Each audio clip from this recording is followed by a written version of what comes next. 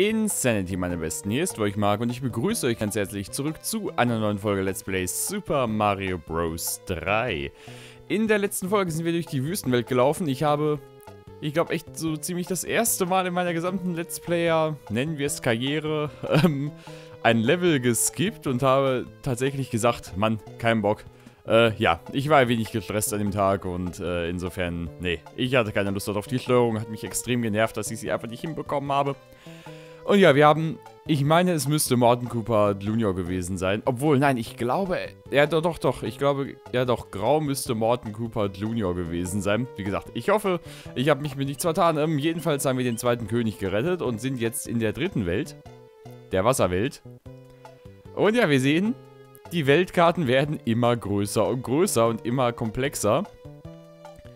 Und ja, äh, ich hoffe, wir werden in dieser Welt ein wundervolles, wundervolles Item finden, äh, dass ich, äh, das für diese Welt wirklich, wirklich geil wäre. Und ich hoffe, ich spiele diesmal, ja, ich möchte bitte weitermachen. Ich hoffe, ich spiele diesmal besser als letztes Mal. Es wäre auf jeden Fall ganz schön. Und ich habe jetzt komplett ein anderes Spielgefühl als vorher, weil ich jetzt nämlich nicht mit dem Classic Controller spiele, sondern nur noch mit der Wii Fernbedienung.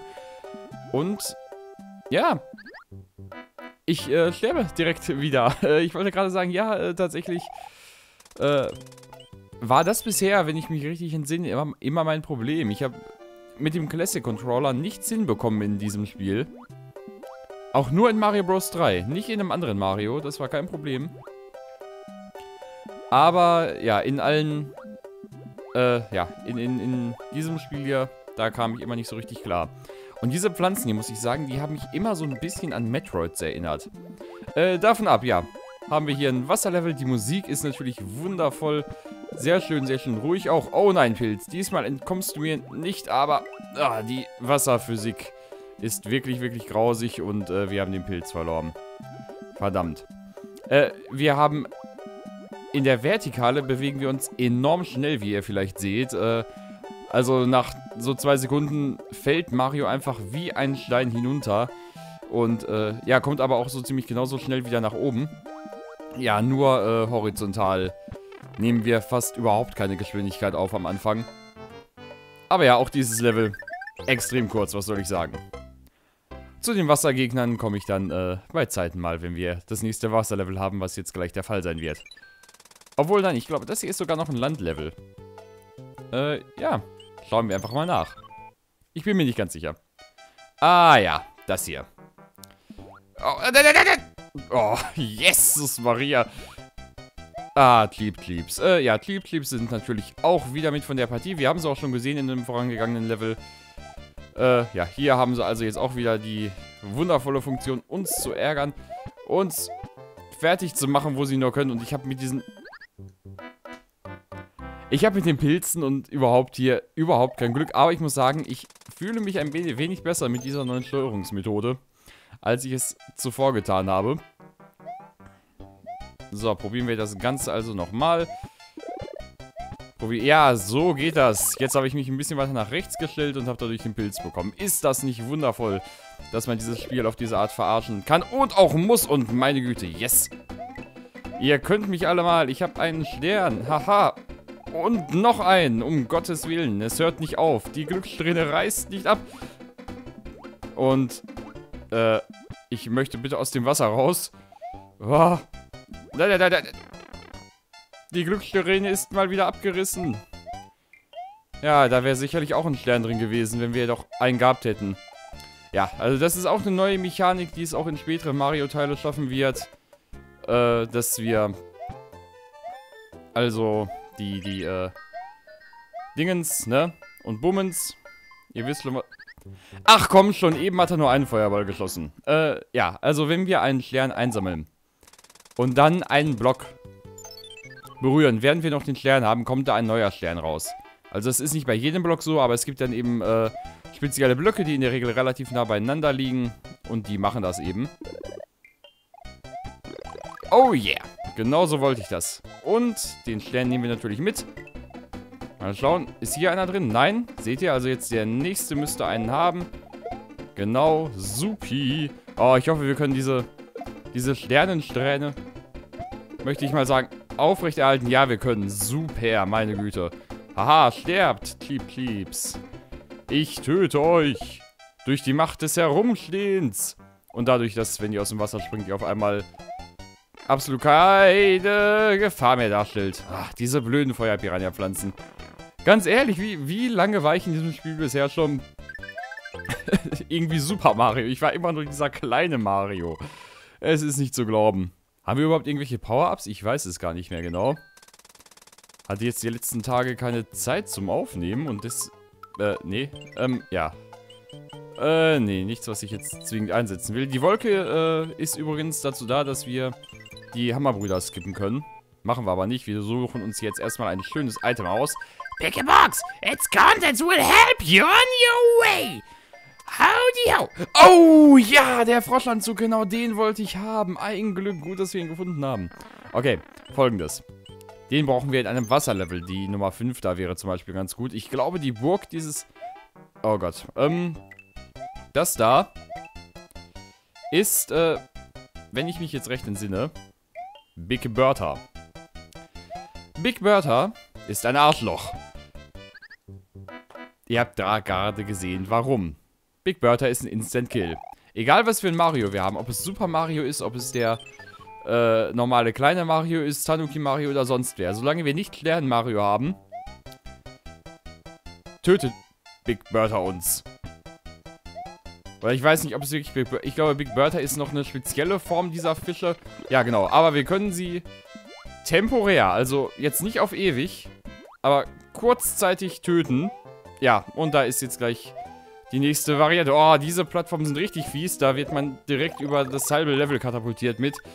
Und ja, das will man nicht zwingend, wenn man aus dem Wasser rausbleiben will. Wir können sie zum Glück mit der Feuerblume erledigen. Und ich habe wirklich meine Güte, ich kann auf einmal steuern, ich kann springen, ich weiß, was ich tue.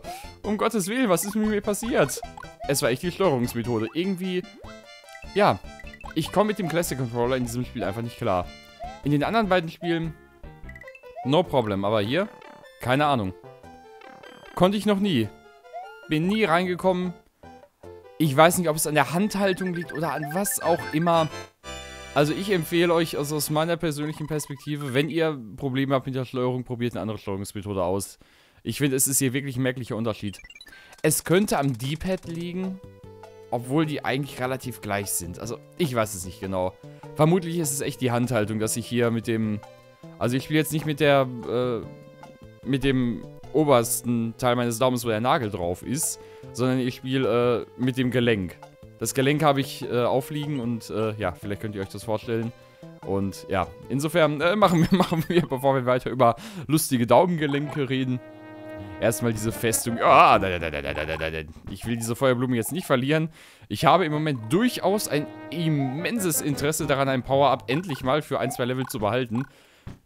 Denn in Mario Bros. 1, äh, 3, meine ich, ist das tatsächlich was, was man schaffen kann. Oh, dieses Level. Ich erinnere mich. Wir haben jetzt, wie ihr seht, diverse Türen. Und diese diversen Türen führen uns in zum Beispiel diesen Raum. Ich meine, da oben wollen wir rein. Und ihr seht schon, das Ganze hier wird in ein Glücksspiel ausarten. Ich mag übrigens diese lustigen kleinen äh, Gumba-Figürchen da oben. Ja, und ihr seht also, ja, dieses Level loopt.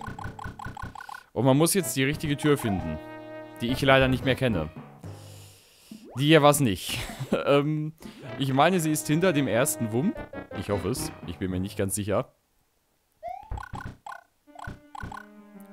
Übrigens, diese, ja, dieser Boden ist so seltsam. Dieser, dieser Schachbrettboden. Ja, ach, Mann, no, blöder Wump. Okay, vielleicht was hier war... Okay, das war nicht ganz die richtige Tür. Aber sie hat uns zum Extraleben geführt, also war sie auch nicht Ganz verkehrt. Aber das Extra-Leben schwimmt uns natürlich weg. Oh, aber ich möchte gerne, was darunter ist. Oh, ein Blatt. Sehr schön. Bringt uns auch nichts, wenn der Wump uns gleich wieder töten sollte, aber man darf ja noch hoffen. Man darf ja noch Träume haben in dieser Welt. Man darf ja noch träumen, dass man seinen lustigen kleinen bauschigen Waschbärschwanz behalten darf. So. Ähm, hier durch? Ich meine, es war hinter dem ersten Wurm. Na, das kennen wir doch auch schon hier. Ja, mit dem Waschbär hätten wir vielleicht eben auch das Leben kriegen können, denn da haben wir ein bisschen mehr Airtime immerhin, aber nee, ich glaube, das Wasser wird uns zu sehr ausbremsen. Ach jo, man kriegt hier immer wieder ein Power-Up, glaube ich. Das müssen wir gleich mal austesten, ob das wirklich so ist oder ob da jetzt nur ein Dingens drin ist, nur eine Münze. So. Äh, nee, das wollte ich nicht. Ach, jetzt habe ich, ah, jetzt habe ich aus Versehen oben gedrückt gehalten und er ist durch die Tür gegangen. Nee. Und die Zeit wird knapp. Ich möchte bitte nicht an Zeit sterben. Nein, ich möchte jetzt auch nicht diesen Block berühren, denn, ja, Jetzt äh, ist es mir doch irgendwie wichtiger, dass ich die Zeit hinkriege. Hallo? So, also erste Tür war es nicht. Zweite Tür war es nicht. Oh Gott. Es ist bestimmt die hier. Yay, ich hatte recht. Ein Glück. Ich dachte schon, wir würden am Zeitlimit sterben. Denn das Zeitlimit ist eigentlich immer ziemlich human in Mario Bros. So, bum bum, stirb. Und Bum Bum hat einen neuen Trick gelernt. Er kann fliegen, was ihm nichts bringt, denn er ist immer noch schwach wie sonst was.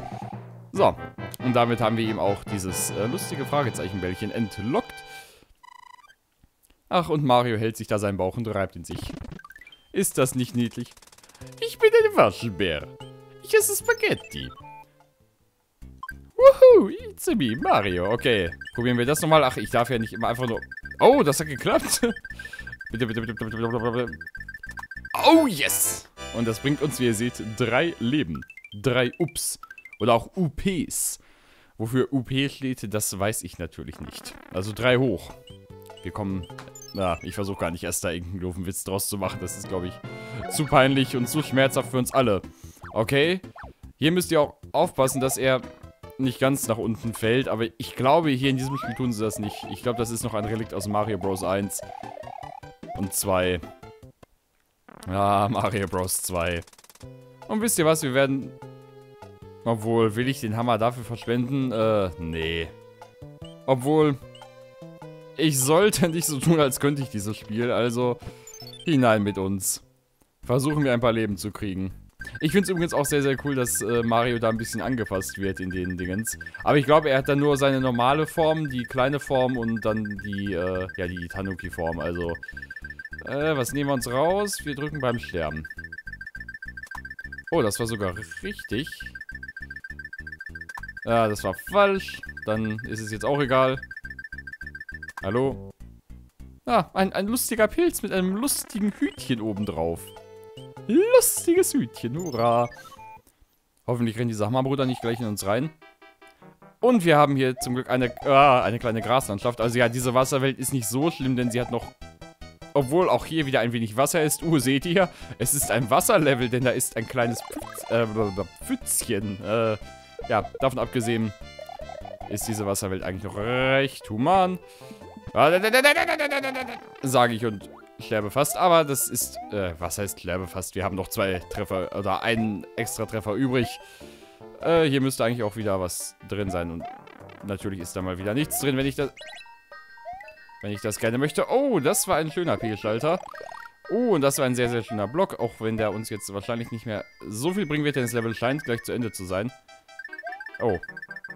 Und Lakitu, alter Freund und Kupferschlicher, was machst du da oben? Oh, du wirfst uns wieder ab mit bösen grünen Stachy-Eiern.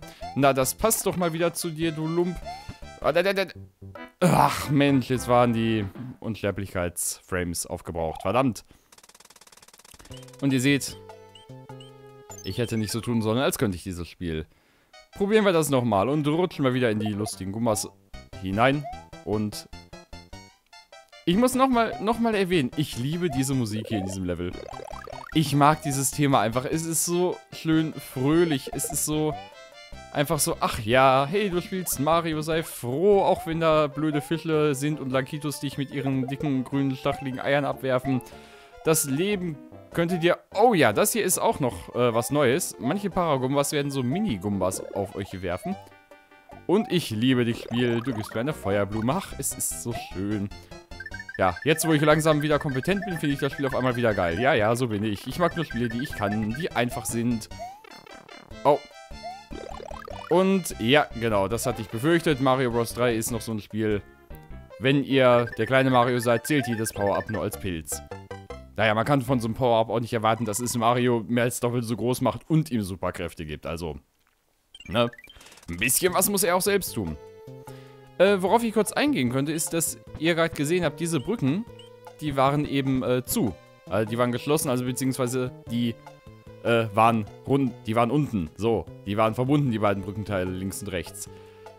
Und das ändert sich mit jedem Level, das wir machen. Also wenn wir in Level gehen und dann da, wie da rausfliegen oder rauskommen oder was auch immer, dann ändert sich das. Äh, ist ganz nett, kann natürlich nervig werden. Achso, ich dachte, das Memory regeneriert sich nicht. Okay. Äh, ja, es ist jetzt natürlich blöd. Bäh. Okay. Aber ja, äh, das zählt, wie ihr seht, nur für normale Level. So, bevor wir in dieses Level reingehen, möchte ich das hier anziehen. Den Froschanzug. Und Mario ist jetzt ein Frosch. Und damit kann Mario jetzt zwar an Land nicht mehr viel machen. Wirklich, also die Steuerung ist so scheiße an Land, aber im Wasser können wir nach oben, nach unten, nach links, nach rechts und das Ganze nach Belieben. Und wir sind schnell wie nichts Gutes. Und sind sowas von agil. Ihr habt gerade gesehen, ich werde eigentlich total getroffen worden mit der normalen Schwimmsteuerung. Aber war... Also wirklich, ich kann im letzten Moment noch irgendwie die Richtung ändern und äh, das wird aufgenommen und das wird umgesetzt vom Spiel. Bin super agil. So, diese Blooper da haben also auch Kinder und die können sie auch nach uns aussenden, wenn ich mich recht entsinne. Ja, diese Bertha da, die hat auch noch ihre kleinen Kinder. Also alles in diesem Spiel hat auf einmal Kinder. Gumbas und Kleep Kleeps und was weiß ich. Und ihr seht gerade. Also wir können super geil springen mit dem Gerät, aber es sieht so witzig aus. Ach, es ist so lustig, dieses Spiel. Und ich, sorry, wenn ich damit nerv, aber ich muss wirklich sagen, dadurch, dass ich den Controller gewechselt habe, ja, mag ich dieses Spiel gleich viel, viel mehr. Die ganze Frustration ist weg, es macht super viel Spaß. Also ja, Steuerung. Oh, wir haben den Anzug verloren. Wir haben gleich noch unser, unseren Superpilz verloren und wir haben beinahe gestorben. Ich bin so klasse. Oh, ein Stern, hurra. Auch wenn es nicht das ist, was ich mir erwünscht habe, aber okay. Ach Mist, der hat als Level gezählt. Ähm, gut, nehmen wir erstmal Welt 6 und äh, dann sehen wir weiter. Oh, Autoscrolling. Und das hier ist das erste, ja, ich glaube wirklich das erste zwingend notwendige Autoscrolling. Und ich habe das Gefühl, im Autoscrolling-Level, da sind diese komischen Frame-Einbrüche. Ah, äh, ja genau, das hier sind auch noch neue Plattformen. Da habe ich noch gar nicht drüber geredet. Das sind Donut-Plattformen. Donut-Plattformen, äh, ja, werden nach kurzer Zeit den Geist aufgeben und unter euch wegfallen. Äh, sind ganz interessant dadurch natürlich von der Herausforderung her. Aber davon ab. So holen wir uns hier erstmal einen Pilz. Äh, genau, diese blauen Blöcke, da kann man auch aufnehmen. Habt ihr ja gesehen. Aber ich dachte, ich erwähne es einfach mal. Einfach, um es erwähnt zu haben. Um alles in diesem Spiel erwähnt zu haben. Ach, ich liebe die Hintergründe. Und ja, ganz ehrlich, auch wenn ich das Autoscrolling hier in diesem Level hasse wie sonst was. Die Musik ist einfach super. Ach Gott, ja. Das waren jetzt wieder diese komischen Frame-Probleme gerade. Ach so, ja. Ach, ach, wenn das Spiel jetzt hier schon so nett zu uns ist, dann nehmen wir das doch gerne an. So, dann gib uns jetzt mal am besten ein Blatt. Also ein Blatt hätte ich... Hm, ja. Ja, okay. Können wir mal nicht im letzten Schloss noch jetzt gebrauchen. Im, im letzten Schloss nicht, aber in, im Schloss dieses Levels. Können wir das sicherlich noch irgendwie gebrauchen. Also dann, Rinder. Oh, und ich hätte ganz gerne noch einen Hammer, um da unten zu diesem kleinen Floß zu kommen. So, das äh, hat geklappt. Da musste ich mich einmal kurz konzentrieren, denn es war ein sehr, sehr waghalsiger Sprung, den ich fast nicht überlebt hätte. Da, da, da, ach ja, das Athletics-Theme.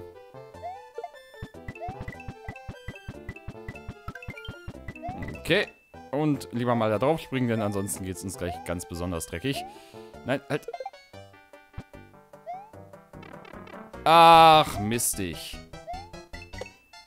Schrunz! Ja, und äh, ihr seht, das ist das Level. Also das ist hier Spannung und Action pur in Super Mario Bros. 3. Und es ist zwingend notwendig. Wir müssen es schaffen. Hä? Äh, habe ich nicht irgendwas Schönes? Nee. Ich weiß gar nicht, ob man mit der Wolke nicht Level überspringen kann, aber das mache ich jetzt nicht. Äh, ah, wisst ihr was? Wir nehmen jetzt einfach mal diese P-Wing. Denn ja, damit können wir einfach den hier machen. Tralalala. Und das nervt jetzt zwar ein bisschen von der Musik her, aber ich mag es gerade einfach, dieses Level hier ein wenig zu rapen. Das macht Spaß, das macht Freude. Und äh, ja, während wir hier einfach ein bisschen awesome und godlike sind, äh, möchte ich euch eins empfehlen. Versucht niemals in Sonic Adventure 1 oder 2 einen Chao aufzuziehen. Es ist scheiße. Ich weiß nicht, wie manche Leute tatsächlich eine perverse Form der Freude dabei empfinden können, einen Chao aufzuziehen. Denn Chaos sind... Äh, Chao-Zucht ist so langweilig und scheiße und... Es dauert so ewig, man muss andauernd, in, also passt auf, man muss andauernd in irgendein Level reiben. Dort dann diese blöden Chao-Drives und, und irgendwelche Tiere und sowas sammeln und dann... Ah, ja, und dann wieder zurück. Und dann kann man immer nur 10 auf einmal sammeln. Und dann muss man erst wieder in die Chao-Welt. Und dann muss man dieses Viech da einzeln mit diesen Viechern füttern. Und dann muss man wieder zurück. Und das dauert alles ewig lang. Viel, viel, viel zu lang. Und ja, Cloudzucht nervt. Aber man braucht zwar alle Embleme. Und ja. Mit Blick auf ein irgendwann mal kommendes Let's Play musste ich... Das wäre... Oh, oh, es ist nicht mehr Autoscrolling. Sehr schön musste ich das leider machen. Oder bin immer noch dabei. Und ja, insofern bin ich sehr froh, jetzt Mario zu spielen und nicht Sonic Adventure 2. Oh Gott. Aber ich darf als Dr. Eggman spielen, das ist ein großer Vorteil. So, nehmen wir uns Welt 7 vor, als Tanuki nochmal. Mann, hier gibt's echt viel, viel weniger Wasser, als ich in Erinnerung hatte in dieser... Oh, äh, das da unten sind Spikes, neue Gegner, die lustige Stachelkugeln eigentlich aus ihrem Mund schließen müssten, holen müssten, um uns zu besiegen. Tun sie gerade nicht. Dann denke ich vielleicht gerade an eine andere Version dieses Gegners. So, probieren wir es mal mit dem Schweif. Ist immer ein bisschen gefährlich, aber im Großen und Ganzen sollte es klappen. Ah ja, Spikes werden immer mal wiederkommen in Mario. Also auch das die Gegner, die, äh, die wir früher oder später noch in anderen Projekten auf jeden Fall wiedersehen werden. Ah. Nein, nein, nein, nein, nein. Oh, und hier holen sie mal raus, was sie, was sie haben.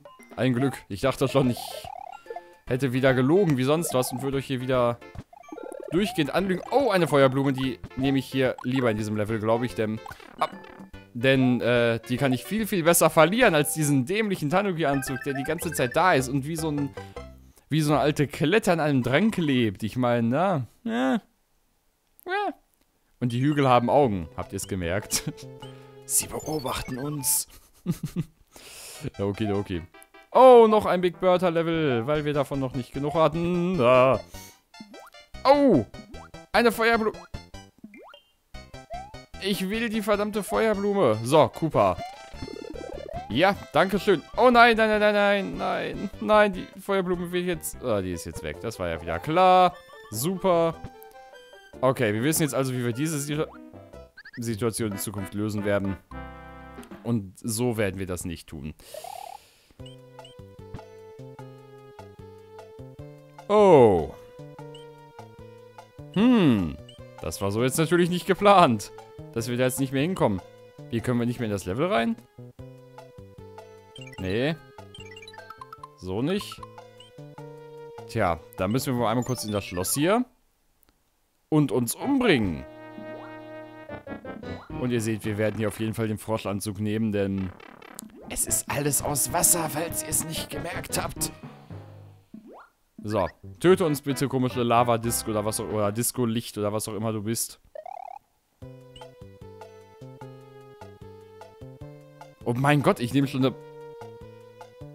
Ah, nee, das, das geht doch von der Folge her. Ich dachte gerade, ich nehme länger auf, als ich in Wirklichkeit aufnehme.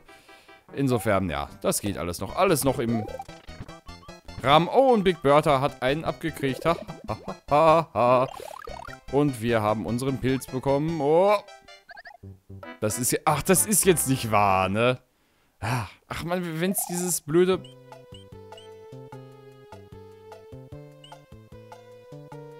Ich überlege gerade. Kommen wir da unten nicht auch zu dieser Röhre hin? Ja.